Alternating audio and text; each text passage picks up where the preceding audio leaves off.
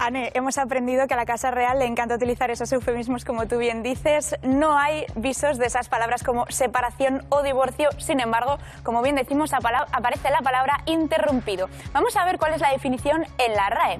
Cortar la continuidad de algo en el lugar o en el tiempo. Dicho de una persona, atravesarse con su palabra mientras otra está hablando. Interceptar, ejemplo, interrumpir el paso. Y para terminar, cesar de hacer una cosa.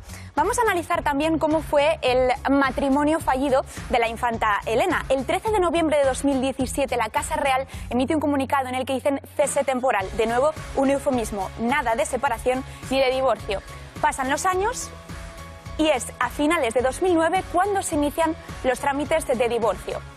Finalmente ya es en el 21 de enero del 2010 cuando se firma ese divorcio y ahora bien las condiciones no las sabemos puesto que el documento se sacó del juzgado. Así que como bien estamos diciendo, Anne, nada de separación, nada de divorcio. Te voy a decir una cosa, la única que habló claro aquí fue Lady Di en aquella famosa entrevista cuando dijo éramos tres en mi matrimonio. ¿Es verdad? Demasiados, pero bueno, eh, todavía decíamos, eh, interrumpimos nuestra relación matrimonial pero claro, hay muchos flecos por atar. ¿Qué va a pasar a partir de ahora? Pues eh, nos lo va a intentar aclarar, como siempre, Olga Rodríguez, abogada de Juris Estudio Jurídico, a Racha Aldeón. Olga, la primera pregunta que te voy a hacer es, eh, bueno, que tendrán que decidir eh, si rompen su matrimonio ante la jurisdicción española o, o la suiza, ¿no? Bueno, pues sí, como ellos han tenido residencia, o por lo menos lo que es la infanta en, Suiza, pues bueno, también se podría allí tramitar este divorcio. Pero vamos, que tampoco os penséis que va a ser la guerra de los Rose. Esto no va a ser algo contencioso, va a ser algo de mutuo acuerdo y desde luego si acuden al juzgado será para ratificar el convenio regulador de su separación o de su divorcio con todos los pactos ya escritos y todo negociado por los abogados.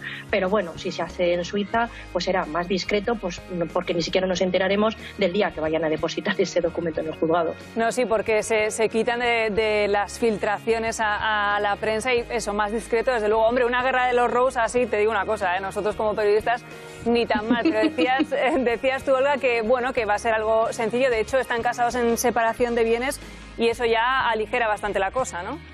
Muchísimo, no tienen bienes en común, por lo tanto no hay que ver que repartimos, que hayamos creado constante matrimonio y tienen hijos y además de todos los hijos que tienen solamente hay una menor de edad.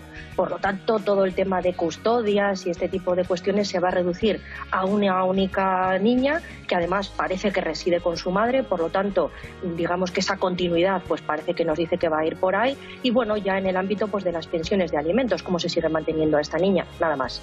Claro, y es verdad que la situación de ambos económica es diferente. Es ella un poco la que ha mantenido la familia en los últimos años. Claro, él en la cárcel, ahora él recibe un salario básico.